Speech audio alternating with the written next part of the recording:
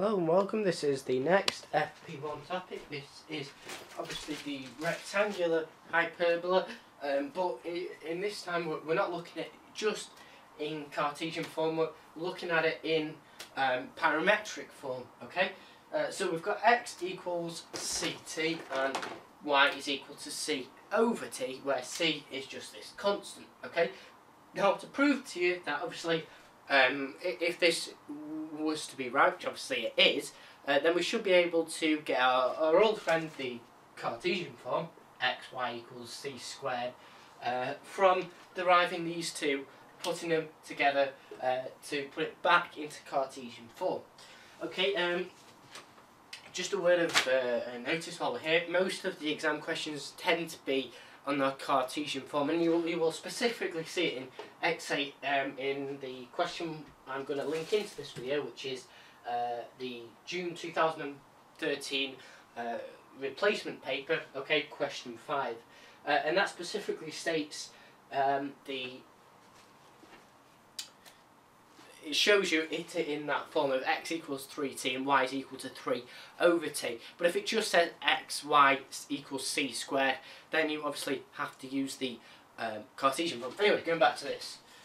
So what we would do if you wanted to convert it, um, okay, well we need we need in a form x, y equals c squared if it is going to um, be you know the correct values. Okay, well let's look at it in the. It, it says you could go through it in um, a number of ways. Sec. Okay, so the way that I'm going to do it is times both sides. Okay, by um. So one sec. Let me double check. Yeah, I'm going to. We've got x here and we want x, y, okay? So I'm going to times both sides of this x equals ct by y. Okay, so it becomes xy. And on the right, instead of writing y, I'm going to write ct, c over t. So ct times c over t. Well, obviously the t's cancel. Okay, so you get xy is equal to c squared. And all we really did was both times both sides by y, obviously, because uh, if you wanted to rearrange that, so it'd be um, y, you know, c is equal to yt. Okay, so you could sub it in there. As I said, doesn't really matter. Okay, so you could have easily done, uh, because we said c is equal to yt, and we've got c in the x one, x equals yt um, times ct, okay, and then you could rearrange that. You would always end up with xy is equal to c squared. Okay, so hopefully that's kind of, in, in the really bad way, proved to you that they are the correct values. Okay, so therefore you could have put it into the Cartesian form if you wanted to. Right, so let's go to this differential because that's the whole point of this uh, video. Now just like when we were deciding what to do when we had parametric functions in uh, uh, the parabola, okay, so we had the parabola in, in the form of a, a parametric equation, okay? And what we did there is we used something called the chain rule uh, which as I said there's a video on that so please do check out my playlist if it's not already there. Uh, it should be up shortly okay? So what we used in, in that instance is we used the related rate of change. In other words the chain rule okay? So what we did is we said okay we want dx dy sorry dy dx dx dy uh, dy dx and we said okay well, that was equal to dy. Uh, and the only thing we can differentiate y with is respect to t okay? And the same d something must go on top right so put dt there over dx and we said we would work that out, okay? So work out the individual terms. Well, dy dt, you can just simply do that. But however, the first thing that I would do when you've got y is equal to c over t, put y is equal to ct to the minus 1.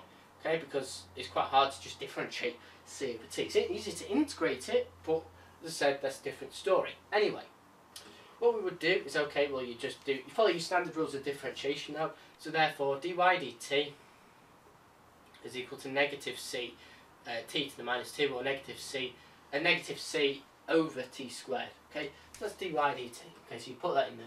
Negative c over t squared.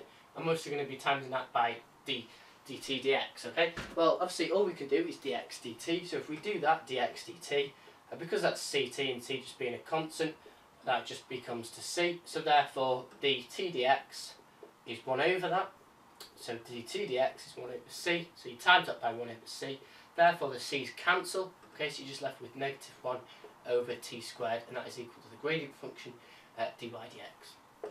Okay, so really it's just applying this knowledge uh, to that question. Now, as I said, um, I mentioned this in a previous uh, little video, um, when, when I was saying about, you could just certain this down to the differential of y over the differential of x, because we always do 1 over x, that doesn't, over 1 over the differential of x with respect to t, uh, so you can always just put it in. And if you were to do that, you just end up with c um, t to the minus 1 or c over, sorry, c, c over t squared uh, divided by um, c, okay, which would obviously the c's would cancel and it'd be 1, negative 1 over t squared as we proved there. Okay, so that's a gradient function, and then you would just apply the same knowledge of c1, okay, that we did in the previous topic. Now, I'm just going to plug a random number in here, so, um, I don't know, let's pick c to be...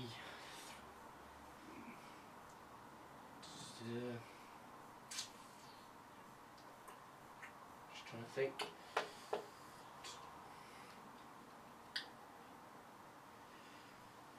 I think. Okay, so if we let x be 6 when c is 3, okay, so obviously that leaves t to be 2. Say if you were given x is c and x is, sorry, c is 3 and x is 6, you would sub it in to the, obviously the x equation, rearrange to get t, that would give you 2. Okay, so this is just, as I said, it's just an equation I've come up with off the top of my head, okay. So then you would apply it to this method, obviously you would write out the gradient function if, you know, if you felt like it, obviously, uh, if you wanted to get some marks. Okay, and then sub it into the gradient function, so dy dx is equal to negative 1 over t squared, t being 2, so it's 2 squared, so it's negative a quarter.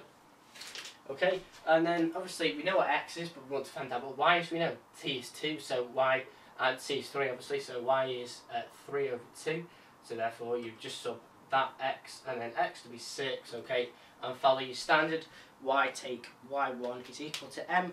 Um, brackets x take x1, y take y1 is equal to m brackets x take x1 and then just give you a moment if you just want to have a go at subbing that in. I mean obviously you know, uh, you know, more than capable of, but it was nice to just have a at something once in a while. Okay, so what you would do there, obviously you'd sub in y to be 3 on 2, gradient to be negative quarter, x take 6.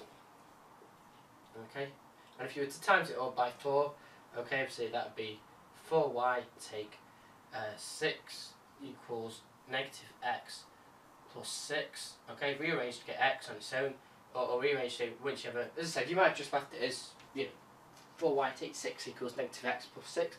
It's completely fine. Okay, so you could move this x across. So it'd be x plus 4y um, plus 0. Okay, because obviously, sorry, plus 0.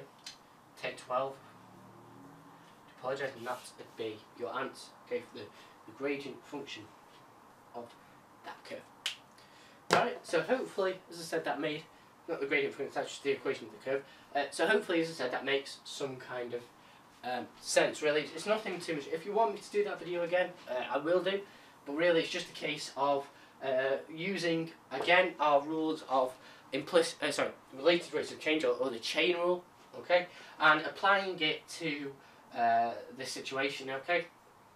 So that's always the case for the gradient of a parametric uh, rectangular hyperbola, but uh, more commonly in the FP1 exam, uh, we are tested on, well, just been through the, the set of questions that are um, associated with coordinate systems.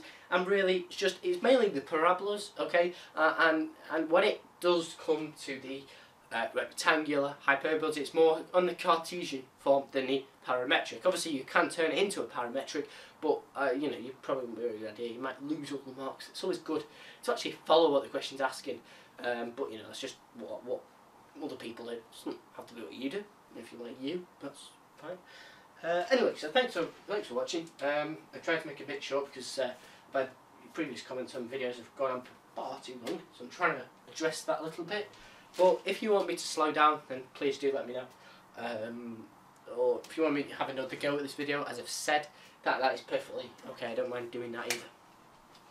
Alright, um, what I will do, uh, I probably, actually no, because this video is going to go up before the other one. Uh, so, if, obviously if you're watch, still watching, I mentioned before about uh, June 2013, uh, question 5, okay? Um, that is, uh, obviously the FP1 exam with Edexcel. As I said, it'll be on my playlist. Uh, if it's not, then please do have a look at that video on, you know, just search for the paper question 5.